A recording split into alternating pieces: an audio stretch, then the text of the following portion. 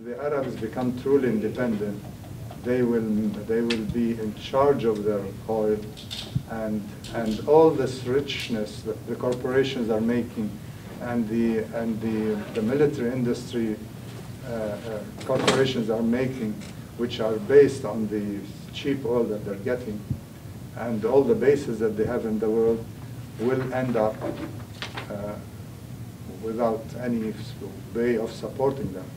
So, uh, Five minutes. so uh, with that, I will end. And uh, I know that it looks, uh, it looks like a big challenge, but I feel that the Americans are really scared. You know, they know that they can, uh, they can maybe uh, maintain their, uh, their power, but they are having problems. They have 150,000, they have 98,000 soldiers, they say, in Afghanistan, 50,000 in Iraq, they have 50,000 contractors who are actually veterans who are uh, working there. So you, you have all these armies outside. How many, how many more armies can they send? Even in the case of Libya, people were complaining, you know, why are we, why is America getting involved in Libya? Because oil, the oil from Libya does not come to the United States. But, uh, but NATO, NATO wanted to control the oil in Libya. And the Americans are really the main, are the core of NATO. Without the Americans, NATO would not exist. So, so the American people were very aware, even people like Republicans, conservative people were saying, why should we get involved in Libya? We have enough, we have enough costs, you know, we have problems, we have deficits. So can they start another war in Syria? Can they, can they maintain another war in Syria? Can they maintain another one in, uh, uh, I don't know where. It could start, you know, it could start anywhere. So, so they have a problem because there's 22 Arab countries and uh, 11 of them where they have their bases and they have to maintain those bases. But, but in the long run, I am confident that the, the Arab youth have lost their fear of the rulers and they have lost the fear of death. And they feel that you cannot live as a human being without dignity. See, Arabs within their country don't have dignity because their rulers are oppressing them. And outside of their country, when they go outside, people look down on Arabs and say, oh, these Arab dictators, these Arab, uh, you know, uh, the bad images about uh, Arab men, uh, you know, uh, all these kings and princes. uh, and uh, in the case of Syria, it, there is one exception because Arabs in Syria are feel, you know, with no pride, but outside they feel proud because their government is challenging the U.S. empire. So there is 50-50 balance there. but, uh, but, but, but most Arabs feel that, you know, they cannot tolerate this. And the youth who are growing in numbers with no jobs have nothing to lose. So, uh, so the future belongs to the people. Thank you very much.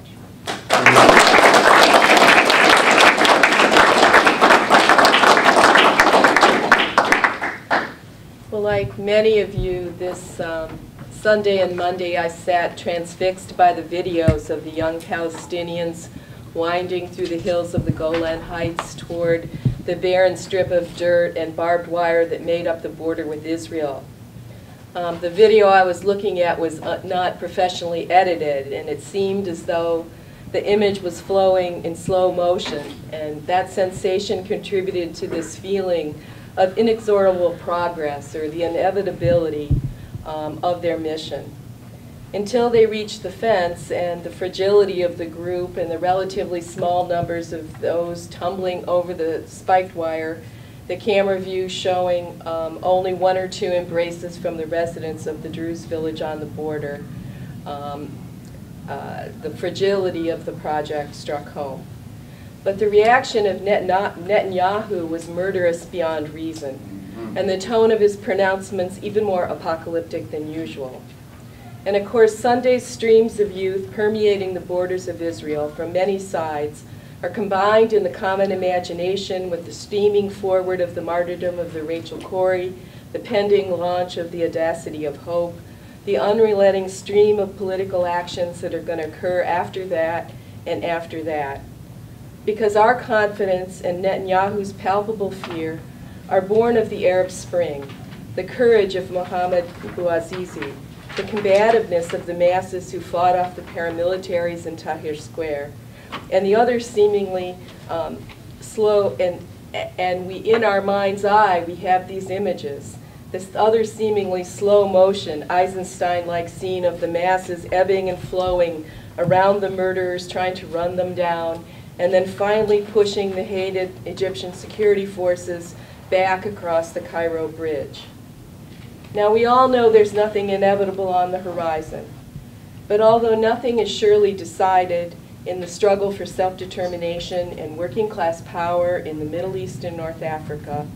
After years of retreat and defeat, we see the masses of Tunisia and Egypt and other countries taking the stage, paying attention to the lines of a most famous script, and in the case of Egypt, the most powerful country in the Middle East, with the, and with the most powerful and combative working class in the lead. So as my co-panelists said, we're privileged to be living through a grand and sweeping transnational revolutionary moment, and no matter what the outcome, the world is never going to be the same. Revolutionary socialists of all stripes note that the sheer numbers of participants and the sheer number of countries affected make this um, an incredible moment. Perry Anderson calls it a rare class of historical event a chain of political explosions, one detonating the another, across an entire region of the world. It's like nothing we've experienced, he says, save the 15-year stretch of the Hispanic-American Wars of Liberation, the European revolutions of 1848 to 49, and the fall of the regimes in the Soviet bloc from 1989 to 91. In this case, however, the revival of the Arab Revolution that was deflected by the dead end of Nasserism and Baathism is shaking a region where formal decolonization has been followed by a nearly uninterrupted sequence of imperial wars and interventions. And despite the limited character of the victories in Tunisia and Egypt, where dictators, but not regimes or the bourgeoisie, were overthrown, and where pro-U.S. capitalist classes continue to hold the reins of power, revolution is back on the scene as a realistic solution for the world's popular classes. Um, or as another British Marxist said, revolution in the classical mode, popular mobilizations, divisions at the top, battles for the troops, struggles over the political and social character of a new regime, potentially more radical movements from below, all this is now a 21st century reality. That's why today Barack Obama, who uh, says he supports democracy, but in fact announced the means by which the U.S. ruling class hopes to halt this revolutionary wave, address the nation and the world. He got on TV today to announce that he's assembling his team, that uh, among the Egyptian elites and the liberal um, and forces in the liberal middle class, he announced that he'll he will eliminate um, 100 1.5 billion of the Egyptian debt load and contribute, I believe, another billion toward aid for, to a fund for new business uh, and entrepreneur, entrepreneurial enterprises that theoretically new jobs uh, for the youth of Egypt. The U.S. has now decided to employ the very, very large carrot along with a very, very large stick that they've been employing to the region so far. Now, what is it uh, that pushed, and, and to hear um, Obama say it today, um, their intervention in Egypt was something new. Uh, and we'll examine that a little bit and talk about what pushed the Egyptian masses to take this extraordinary road. What is the overarching context? Um, of course, just like the strikes and demonstrations in Europe, this, this was a response first and foremost in some to the capitalist economic crisis that's hitting the world over. And the manner in which the Egyptian regime tried to turn the screws one more, one more turn to make the uh, masses bear the cost of their resulting losses from this newest crisis. Um, imagining a response to these new attacks, Mubarak had upped the arbitrariness of police victimization, arrest, and torture moving from hard political targets to those he had sheltered in the past. Most interesting is the fact that Tunisia and Egypt, the sites of the most advanced um, revolutionary activity, were considered the poster child children for the IMF and World Bank's neoliberal programs for the Middle East. In 2010, the World Bank singled them both out. Egypt, of course, was the pioneer for the structural adjustment in the entire global south, with Sadat announcing the, the opening of the economy as early as 1974. Mubarak made his first major contribution by overturning the tenant rights for agricultural land that had been given to the free officers in 1952 and allowing the old landlords and their heirs to return and dispossess peasant households. He also agreed to sell state-owned industries, and in return, he, re he received a guarantee from the Paris Club for 30 billion pounds. These were just the major reforms that have been carried out in the 90s, reforms. Um, and with others, uh, Mubarak ripped the Nasserist social contract to shreds, leading to a 26%, that's the modest estimate, unemployment rate, perhaps three times as large among the youth 15 to 29 years old, and a situation where 44% of Egyptians live below the international poverty rate of $2 a day. On top of this, in the period right before the rebellion, food prices had tripled for many commodities. Meanwhile, the local beneficiaries of economic reform and structural adjustment who received enormous kickbacks for selling off the state companies and the land cheap, were living ostentatiously, building massive villas on the desert fringe with names like Dreamland and Utopia um, eh, for all to see.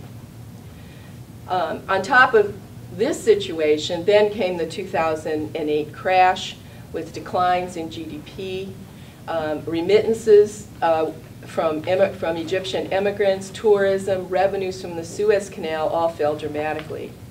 Anticipating trouble, Mubarak stepped up the repression and made everyone fair game for police harassment and arrest. Um, they had such confidence in their repressive measures that for the 2000 election, they didn't even bother to prevent the filming of their stuffing of the ballot boxes and the shredding of ballots um, and all the, for all the world to see. Now this same period saw the development of new forms of collective protest in Egypt. What was our side doing? Activists recall, and, as they recount the narrative of what led to Tahrir Square, um, claiming ever and ever larger circles of political space. Some of this began with protests in support of the Second Palestinian Intifada. In 2003, they held a massive protest in Cairo. They called it the Tahrir Intifada uh, against the U.S. invasion of Iraq. And many activists saw this as kind of a dress rehearsal for 2011. Um, that confidence in those victories led youth and others organi to organize small rallies, lobbies, ma marches, and flash mobs for democratic change, uh, things that were organized by email and social networking. Um, and because it was a new kind of organizing, they had some space, the cops were caught off guard, a head of steam was built up. At the same time, there were concurrent and dramatic struggles going on in the workplaces of Egypt, um, and they were growing by the day, giving all these youthful protesters and uh, from other classes confidence. In 2005, there were 202 collective work actions. In 2006, 222. In 2007, 614, and of course that one included the most important and sustained strike and victorious mass action at the Mahala Al-Kubra textile mill. Because they won key concessions there, they inspired even more workers, and so on and so on. The strike wave with Mahala at its center has been described by one historian as the largest social movement in Egypt for over half a century, with 1.2 million workers and their families engaged in some kind of protest. The regime did not attack the strikers um, directly, hoping that things would die out. Instead, demonstrations um, on a large number of issues began to take place. Demos, de demonstrations around the shortages of bread and water, student protests against land seizures around housing, and against police brutality. By the time that the Tunisians drove out Ben Ali, the Egyptian masses were ready. They had and they, and they had, only actually